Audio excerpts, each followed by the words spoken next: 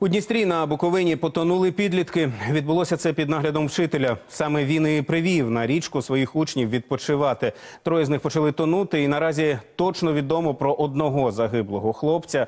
У громаді, де сталася ця трагедія, зараз працює моя колега Ольга Лучик. Е, Олю, вітаю тебе. Розкажи, будь ласка, що тобі вдалося з'ясувати.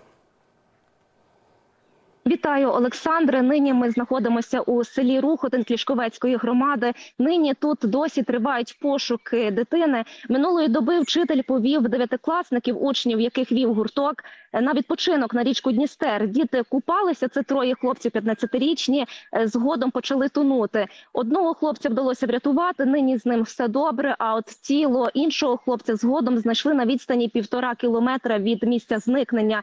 Тіло третьої дитини досі шукають працівники поліції, ДСНС, а також місцеві жителі.